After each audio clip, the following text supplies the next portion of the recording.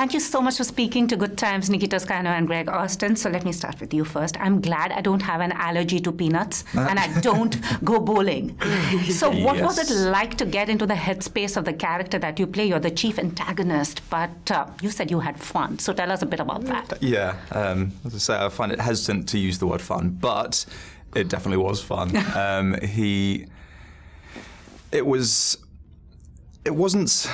People ask me if it was hard or not to get into this mindset, and I've, I don't think it was. It's everyone's got this inner demon, right? The, this shadow part of them. So it's just like using that, bringing that to the forefront, and being comfortable with it, and being able to relax into that side of your personality. Because um, I think everyone has that in them. But yeah, it, it, he was it was just fun to play around with that and to have the ability and the option to mess around with that side of myself. So it's it was a pleasure. And I wanted to ask you because you know it's almost like a crackdown on people who discriminate uh, other uh, you know others on the basis of race. It seems like more real than fiction. Sadly, it is. I mean, I think that um, I think that. Um, anti-Semitism, racism is a, a, global epidemic that extends, you know, beyond political party, and I think that um, it was really um, interesting to me to be a part of a project that. Um, that empowered this group of others to um, to find their voice and let the world feel the weight of who they are. And what was it like working with Al Pacino? that's the that's the question. That's the question of the hour. yeah. um, I mean, it's it's it's it's absolutely surreal, um, and no amount of time. You know, we were com- we've completed the first season. No amount of time sort of changes the fact that um, it continues to be surreal at every turn.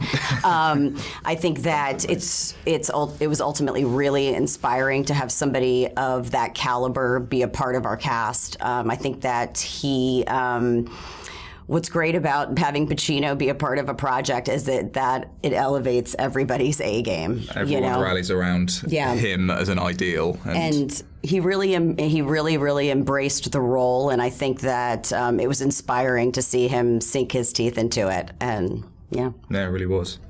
And for you as an actor, I mean, do you think like a 12-hour film is gives you that platform to explore the arc of a character and gives you more creative freedom? Absolutely, it's lovely to be able to have a lot of time with a character um, to be able to really go in and see all the little uh, individual parts of their of their personality. So yeah, you get to over this twelve hour film. Um, yeah, you really get to play around with it. It's lovely as an actor to be able to do that.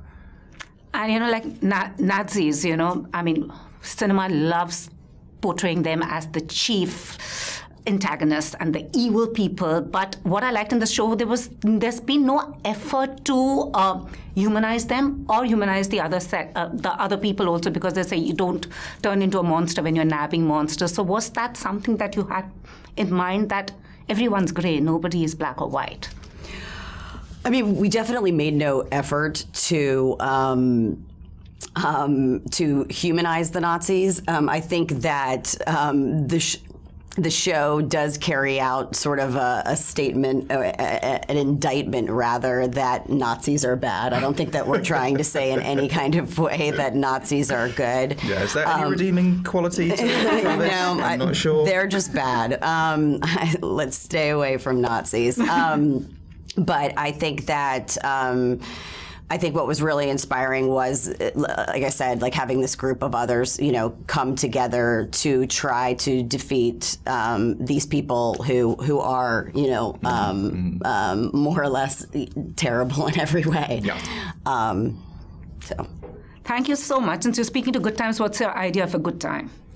Oh God, what is my idea of a good time? I, I couldn't say it on, on camera. I'll tell you that much. um, no, I, my idea of a good time is sitting at home with a beer and playing a game on my Nintendo Switch or something like that.